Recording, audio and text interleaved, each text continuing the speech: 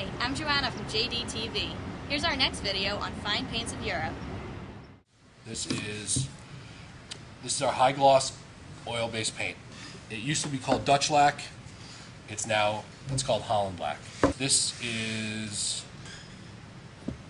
our high gloss oil. It's the shiniest one part paint in North America by 20%. There's nothing close to this.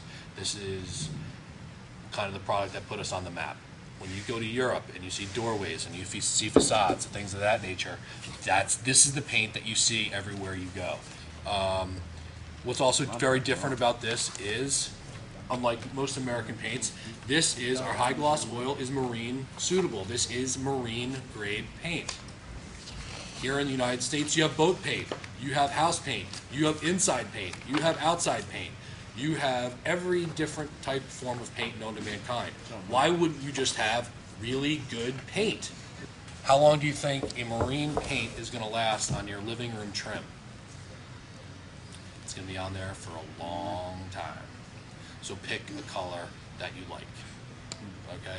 Because this is a paint that you could look somebody in the eye and say you're going to get 10, 15, 20 years.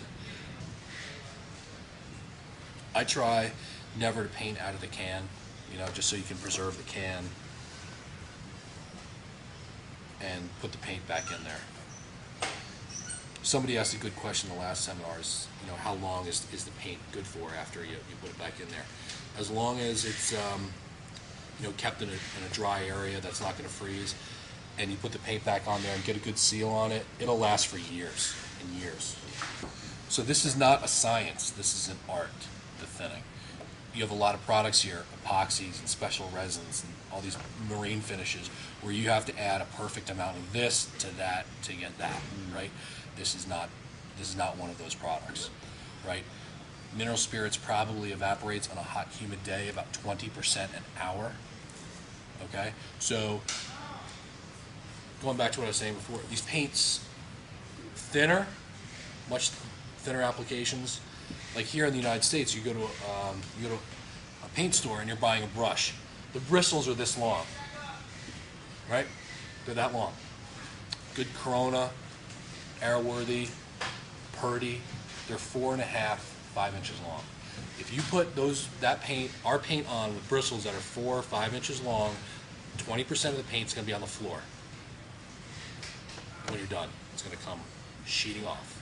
That's to look, it's going to you're to make your life miserable. Thin applications. How do you do that? By putting on a thinner coating of paint. It's, you do that with short, stiff bristles, right? You don't. It doesn't have to be an Omega. It doesn't have to be one of my one of, one of my brushes.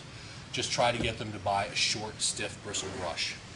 Okay, um, and also by adding a small amount of paint thinner will help them do that sometimes these paints have a tendency to pull and drag and don't flow out nice. Okay, you should you don't have to go through that. Add a small amount of thinner.